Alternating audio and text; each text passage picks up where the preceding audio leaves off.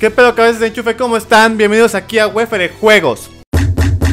Viejo lesbiano. Cállese viejo lesbiano. Este día vamos a hablar de un poco de Battlefield, un poco de Black Ops 4, un poquito de Fortnite porque a ustedes les gusta y a mí también y a todos nos gusta Fortnite. Así que nada, pues a darle con el video.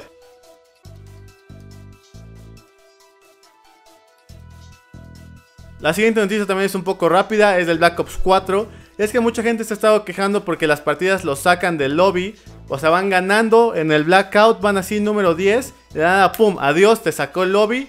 Y pues no ganaste nada. Lástima, Margarito, te quedaste sin puntos.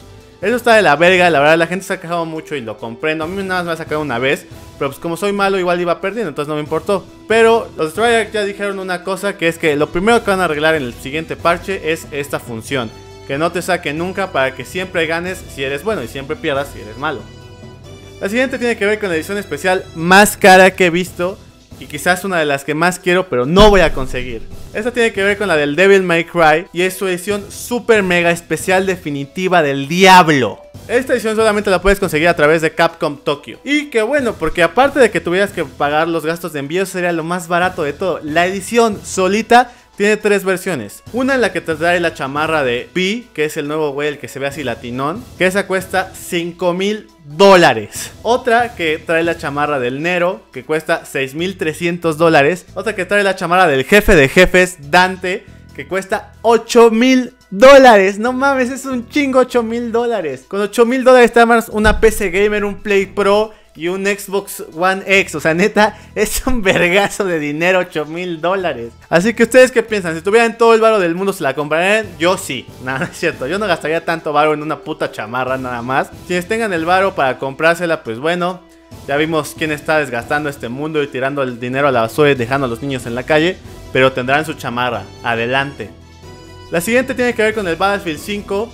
Y es una noticia que a mí me gustó mucho porque revelaron que un modo de juego en la historia de single player va a ser jugar como un nazi.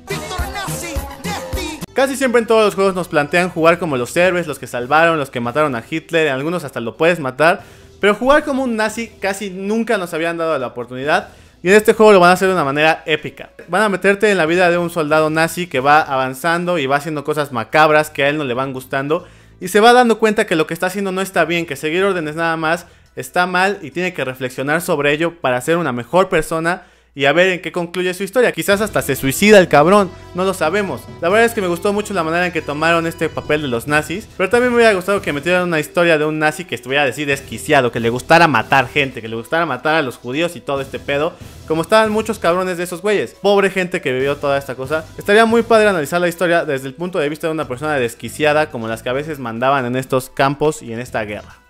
La última y por lo tanto la más importante de todas tiene que ver con Fortnite. Y es que retrasaron el free to play del modo Save the World de este juego.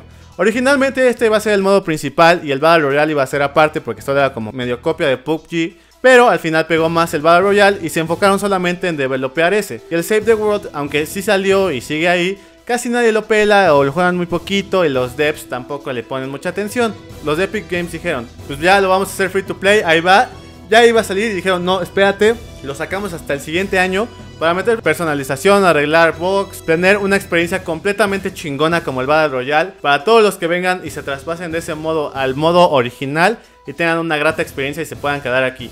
También están viendo la manera de que todas tus skins de Fortnite de Battle Royale se te pasen aquí y las tengas y puedas jugar y hacerte la paja y todo esto que ya saben que se hace en los videojuegos actuales. También dijeron los developers que todos aquellos que jueguen el modo de Save the World en su versión estándar, deluxe o la que sea, en el evento que están anunciando de Fortnitemares, van a conseguir dos skins. La de Brainiac Jones y la de Ranger Ramírez totalmente gratis para Fortnite Battle Royale. Los que les gusta la skin de la calaca, a mí se me hace medio pendeja. Si la quieren tener, nada más tienen que jugar el evento de Fortnitemares en el modo Save the World y la van a tener. La de Brainiac Jones no la he visto, no la encontré, la busqué, pero no me salía. Pero si les gusta, cuando ya la vean, jueguen esto y la van a tener gratis. Entre comillas, porque tienen que comprar el juego, pero gratis. Este juego va a estar al 50% de descuento de aquí hasta que sea gratis para jugar. Y estamos muy emocionados porque lo saquen. Y nos preguntamos aquí en el set de Web de Juegos, ¿qué piensan ustedes de Fortnitemares? ¿Qué será esto? ¿Será un evento nuevo? ¿Será solamente la skin que van a sacar? ¿La piedrita esa con la esvástica será nazi? Nosotros somos pajeros, ustedes son pajeros. ¿Qué pasa en el mundo? ¿Qué está pasando? Díganos aquí en los comentarios qué opinan. Verga, no vi preguntas de Instagram. Pues bueno, vamos a contestar las preguntas de Instagram, como ya saben. Si quieren mandarnos sus preguntas, mándenlos al Instagram que está aquí en mi cara. Vayan ahí, suscríbanse al Instagram, síganos y mándenos su pregunta y se las contestamos aquí. Pues bueno, va la primera de todas, que es de Alan Alexis FR. Él me pregunta. Bueno, primero me dijo que no le mandé saludos. Saludos a Alan Alexis FR. Y su pregunta es, ¿qué es mejor, Play o Xbox? Es que se quiere comprar una consola, pero no sabe cuál. Mira, yo te recomiendo mucho, si te gustan los shooters, te recomiendo más el Xbox porque tiene más exclusivas de shooters y tiene los AAA games, o sea, todos los Black Ops y todo esto.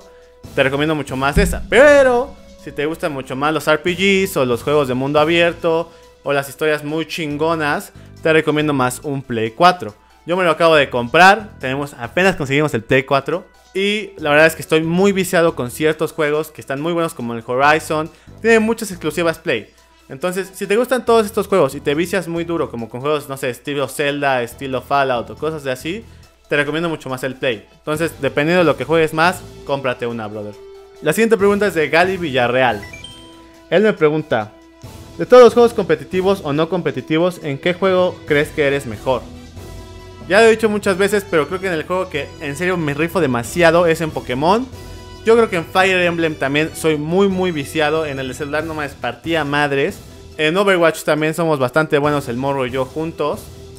¿En qué más? Pues creo que en esos son los mejorcitos de todos. ¿Y cuál es tu Pokémon favorito? No tengo como tal un Pokémon así específicamente favorito, pero yo creo que si tuviera que elegir a uno, quizás sería Garchomp, Lucario. Tengo un team completo de favoritos, luego se los digo. Eduardo BT me pregunta, ¿cuál es tu personaje favorito de Smash? Y quería hacerte otra pregunta, pero me vas a mandar a la verga. Pues vete a la verga por no hacérmela, por miedoso. Mi personaje favorito de Smash es Ness y Corrin. Yo creo que en el siguiente quizás pueden sacar uno que me guste más, pero Ness y Corrin son mis mains, los amo, más a Ness. Ness es mi niño dorado, con ese güey mato a todos. Y con el moro hacemos una golden combi de Ness y Lucas en los dúos. Esperen gameplays del nuevo Smash. Y por último, una pregunta de Juan Pizaguilar. Me dice: Hola, esclavo de Wefer. Y mi pregunta es: ¿tú qué, ¿tú qué crees que es el mejor modo de. Este güey no sabe escribir. ¿Tú qué crees que es mejor? ¿El Call of Duty modo Battle Royale? O sea, el Blackout. ¿O el Fortnite? Saludos desde Ecuador. Pues bueno, yo creo que depende de tus gustos. A mí, la neta, yo soy una persona que le maman las skins y le mama conseguir cosas como va subiendo de nivel. Y creo que al Blackout todavía le falta un poquito de esto. Así que si nos vamos por este tema, prefiero el Fortnite porque las skins están muy chingonas y cada vez me llaman más la atención. Pero en la jugabilidad y todo esto, la neta, prefiero mucho más el Blackout. Porque en el Fortnite me caga que ya lo vas a matar y en eso te empiezan a construir cosas enfrente para que no lo mates. Es una mamada. O sea, neta se queda a un peso de vida y como tú no sabes construir porque estás manco, o sea, yo, pues te matan rapidísimo. Y en el otro, la neta es un poquito más de habilidad de apuntar y todo esto clásico. Y eso me gusta más. Entonces, pues la neta, yo los dejaría en empate, un poco ganando el blackout. Pero bueno, cabeza de enchufe, si les gustó el video de hoy, ya saben, denle una suscribida, denle una me gusteada, denle una compartida, denle todo. Suscríbanse al Instagram, a toda la red del Wifer. Esténse pendientes de los streams que hacemos muy seguido. Y pues nada, nos vemos en el siguiente video. Bye.